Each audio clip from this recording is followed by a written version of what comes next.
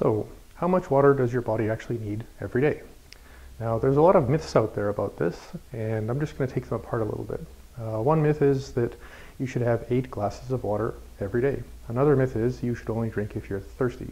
Another myth is if you're uh, feeling thirsty, you're already dehydrated. Uh, the average advice that I would say is probably a good idea is to drink two liters of water every day. So let's look at this eight glasses of water a day myth.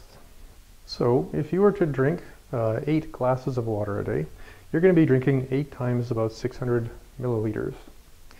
Right? So that's at least four liters, almost five.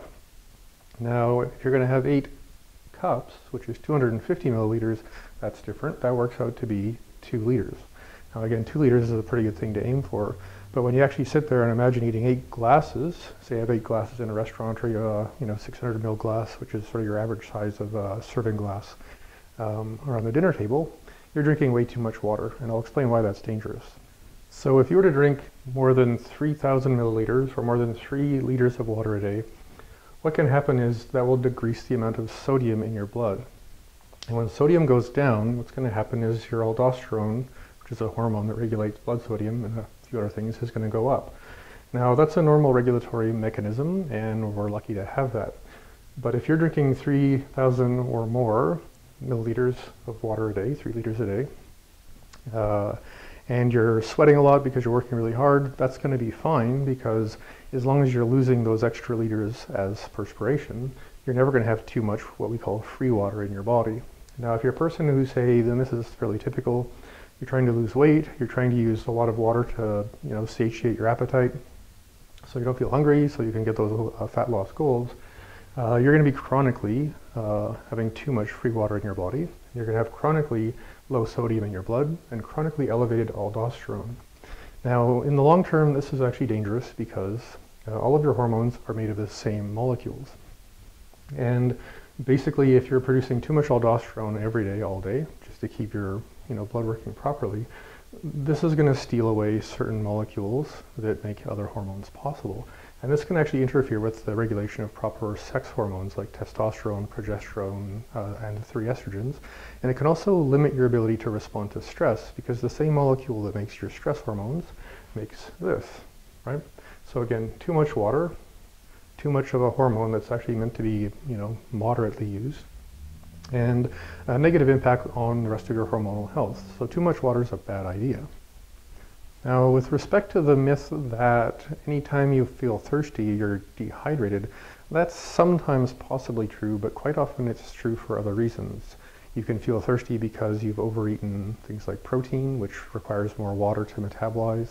Uh, you've had too many salty things in your diet, uh, too many spicy things, other things that cause things to swell up, which you know absorbs water. So it's just to give you that sense that that's not always true, but I think it's a good idea if you are thirsty to drink water. So I'm going to kind of get into what actually makes the most sense around drinking water. So I would say two liters is probably the best thing to aim for. In fact, when I'm getting my patients to focus on proper water consumption, I ask them to lay out uh, four 500 milliliter containers of water. Now, if you like your water cool, leave it in the fridge. Um, if you have chlorinated water, this is a good idea because this allows the chlorine to boil off. So you're not ingesting chlorine because that's not actually very good for you. So let's say you have two liters or 2,000 milliliters of water a day. The optimal thing to do is to actually try and have the first liter within the first two hours of the, the day. So you're going to have one liter, right, in that first two hours. Now this takes some practice and it takes a while for your body to get used to. So if you're going to commit to this, and I as a clinician would really encourage you to give this a try for at least a few weeks, for the first probably week, you're going to need to go to the bathroom a lot in the morning because your body isn't used to metabolizing water that way. And you want to make sure you're giving your, yourself some time, maybe 15 minutes before you have breakfast and about a half hour after you have breakfast, uh, in terms of when you're drinking your pre-poured uh, 500 milliliters and 500 milliliters of water. Right? You can have some warm, some cool, some with a bit of lemon juice, however you like. The important thing is to try and get that into your body in that first two hours. Now, of course, you're asking why.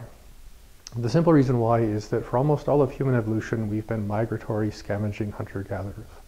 And if you've ever been out in the bush without any kind of real sort of camping equipment, Um, the hardest thing you can actually do, or the most difficult thing that, that I've found in, in my experience out in the bush, is moving water around.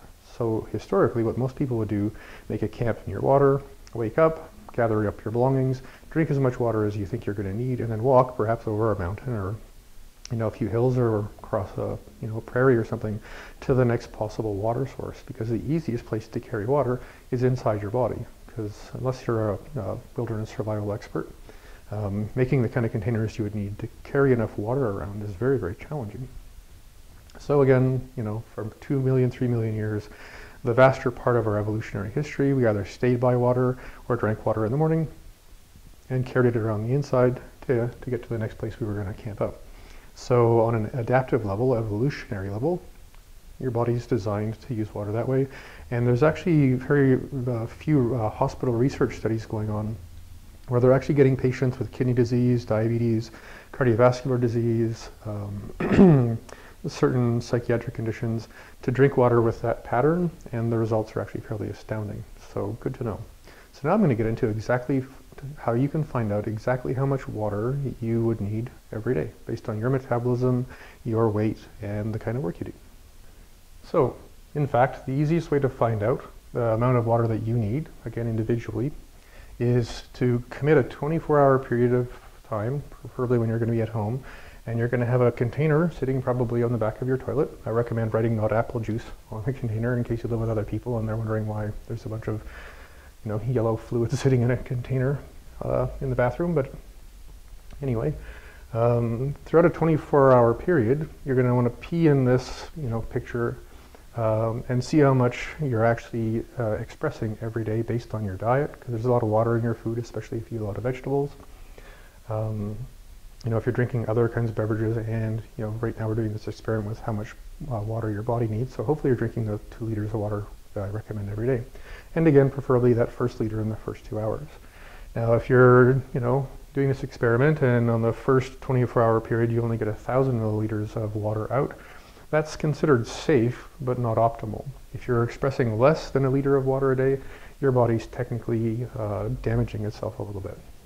Uh, if you're expressing more than a 1500 milliliters of water, you're not drinking like an excessive amount, but you're actually drinking more than your body needs. So a little bit of a weird experiment, but if you can get a container, make sure no one else is going to either pee in it or drink it, um, and find out how much uh, water you need to intake, again, based on diet and lifestyle and other things to express 1500 milliliters of water every day, well, you've just found out what your optimal water intake is.